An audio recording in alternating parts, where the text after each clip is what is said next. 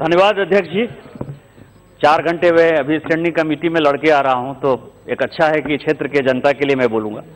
जब ये संविधान बना अध्यक्ष महोदय तो उस वक्त ये था कि रिजर्वेशन किस तरह के लोगों को मिलेगा। और शेड्यूल कास्ट और शेड्यूल ट्राइब को रिजर्वेशन मिले, ये कॉन्स्टिट्यूएंट असेंबली का जो है, खुला मत था। उसी में दो डिस्क्रिमिनेशन हुए सर डिस्क्रिमिनेशन ये हुआ कि जो शेड्यूल कास्ट यदि अपना धर्म परिवर्तन कर लेगा तो रिजर्वेशन उसको नहीं मिलेगा। लेकिन शेड्यूल ट्राइब के लिए कहा गया कि चूँकि उनका रहन सहन, कल्चर, आचार, व्यवहार अलग है, इस कारण से शेड्यूल ट्राइब को उसमें एक रिप्राइव दे गया, उसको एक रीजन दे दिया गया।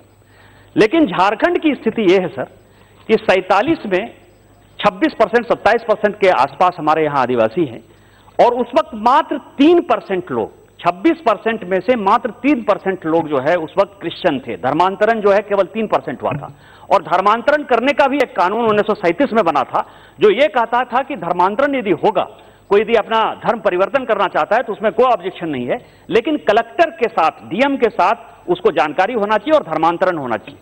लेकिन सर, आज स्थिति ऐसी है कि उस 26 परसेंट आदिवासी में से 20 परसेंट लोग लगभग लगभग आप समझिए कि डेढ़ करोड़ के आसपास लोग जो है, उन्होंने अपना धर्मांतरण कर लिया है। और धर्मांतरण करने से उनका पूरा कल्चर बदल गया। और धर्मांतरण करने वाले लोग उनको शैक्षणिक तौर पर, सामाजिक तौर पर और विशेष आर्थिक तौर पर जो है, प्रभावित करके धर्मांतरण करा रहे हैं। इसीलिए मेरा आपसे आग्रह है कि जब कॉन्स्टिट्यूएंट असेंबली में डिबेट हुआ और उस वक्त हमारे फोर फादर्स ने जब कहा कि यदि इस तरह का सिचुएशन होगा तो शेड्यूल ट्राइब को भी शेड्यूल कास्ट की तरह धर्म परिवर्तन के बाद रिजर्वेशन नहीं मिलेगा।